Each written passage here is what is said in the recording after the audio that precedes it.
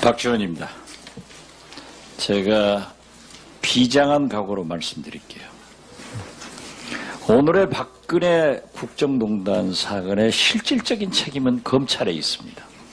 그리고 국정원에 있습니다. 검찰 반성해야 됩니다.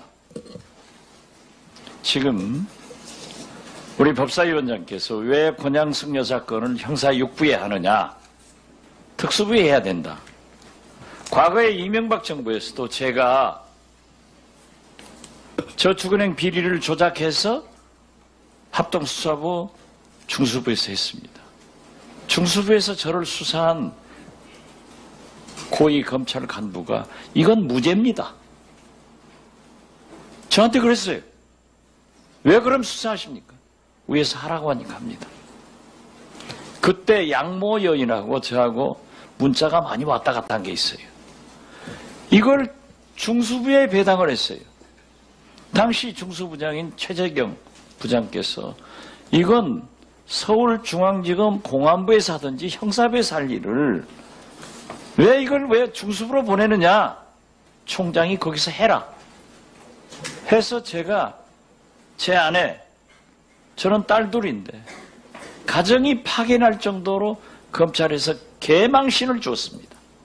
그러나 결국 저를 못 부르고 중앙지검으로 내려가서 수사한 적이 있어요. 자, 보십시오. 이러한 일을 누가 했느냐? 우병우가 했어요.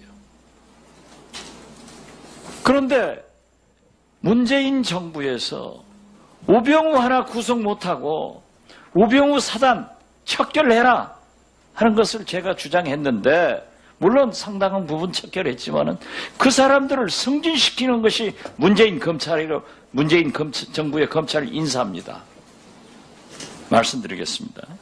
2014년 제가 정보위원으로서 국정 국정감사가 아니라 정보위 업무부 그때 국정원장한테 간부들 배석했는데 추미국 국장 일어서 일어서더라고요. 제가 낱낱이 얘기했는데 절 대 국정원에서 그 사람 처벌하지 않았어요. 그대로 지키다가 이 꼴 된 거예요. 오늘 기사 보세요. 같은 해 제가 만만해 지금도 재판받고 있어요. 검찰이 만약에 만만해 제대로 수사했으면은 추미애 국정농단 없습니다. 추미애 박근혜. 박근혜. 죄송합니다. 내 추미애한테 월 유감이 많아서 하는 거예요. 의도적으로. 이렇게 있는데 제가 볼 때는요. 공수처요. 개혁이 법무부원 절대 검찰에 의거해서 받아들이지 않습니다.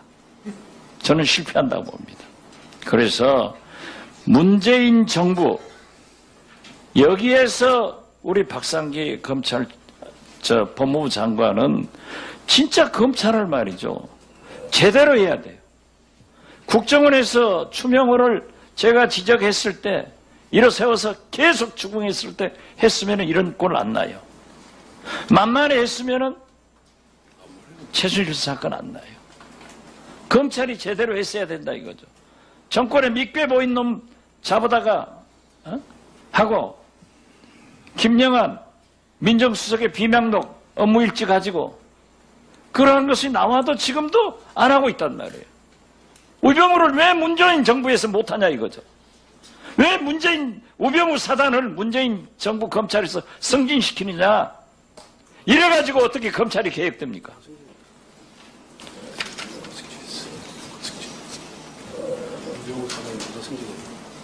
저는요,